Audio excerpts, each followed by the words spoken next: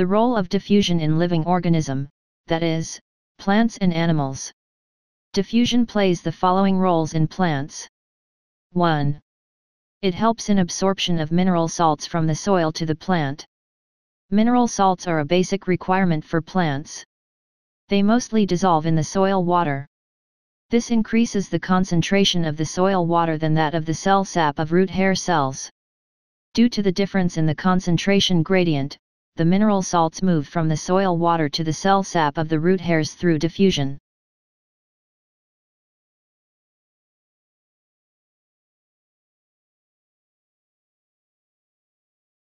Two.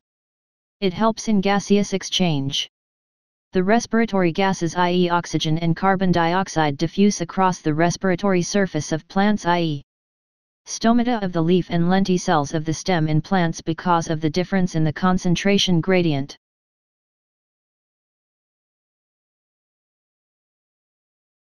Three. It contributes to the transportation of manufactured food materials from the leaves to other parts of the plants.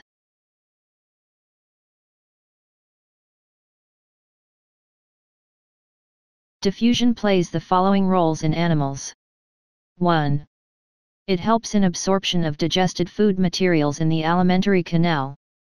End products of digestion such as amino acids and glucose diffuse across the wall of the ileum into the blood for transport to other parts of the animal's body.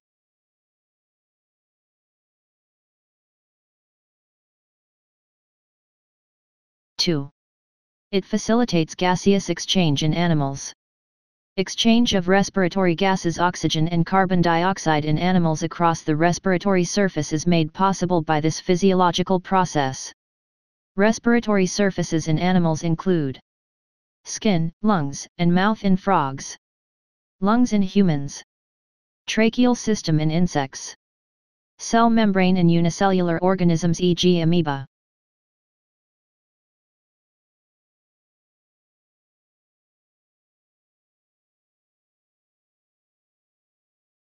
3.